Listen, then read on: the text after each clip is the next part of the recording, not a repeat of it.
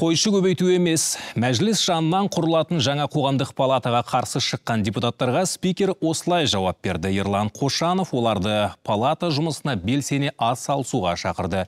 Өйткені соңғы кезде парламентке айтылар сын көбейген. Бүгінгі таңда өкінішке орай бізге сын көп, шынымызды айтайық бүгін. Заң шығарушылар халықтан алшақтап кеткен деген. Яғни халық бір жақта, қоғам бір жақта, заң бір жақта жұмыс істеп жатыр деген пікір бар. Солай ғой? Міне сондықтан қоғамдық палатаның басты мақсаты неғұрлы өзекті резонансты заң жобаларын бірінші оқылымға дейін қоғамның талап тілегі тұрғысынан қарастыру. Осы біз үшін ерекшелігі осы.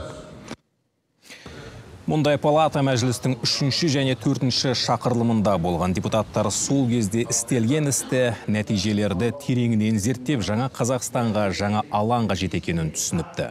Яғни заң шығарушылар мен халық арасы жақын болуы тиіс.